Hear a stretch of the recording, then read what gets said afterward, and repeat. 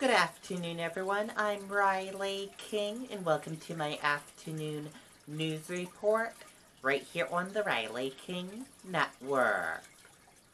Let's begin. Take a look at this photo right here. State beaches on Seacoast closed in an effort to slow spread of COVID-19.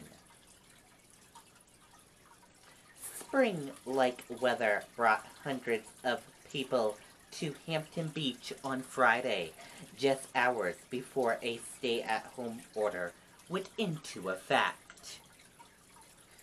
We wanted to get out of the house while it was still nice out because you can get a little crazy in the house, said one resident of Chester.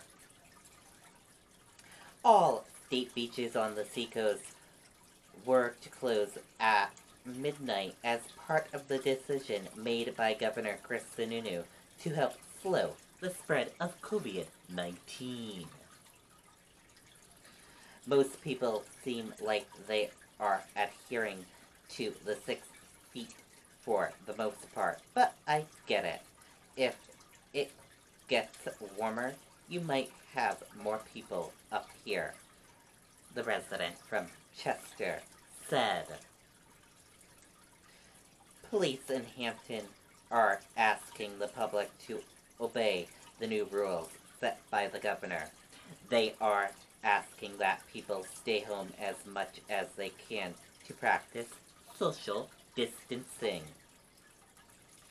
One resident from Manchester said her and her husband enjoyed lunch along Ocean Boulevard on Friday.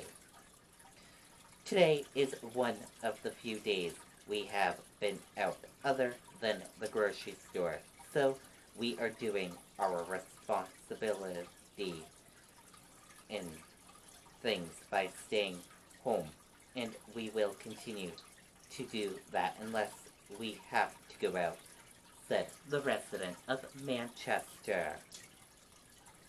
UNH student just packed her belongings at school and is heading home to New York for the rest of her semester. As the number of cases continue to rise, she said it's really hitting her how serious things really are and understand the measure the state is taking. It's important that we spread out to stop people becoming infected because if it all happens at once, our healthcare and people are going to be overwhelmed, she said.